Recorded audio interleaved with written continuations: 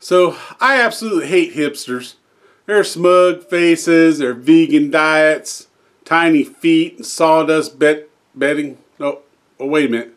Hamsters. I hate hamsters.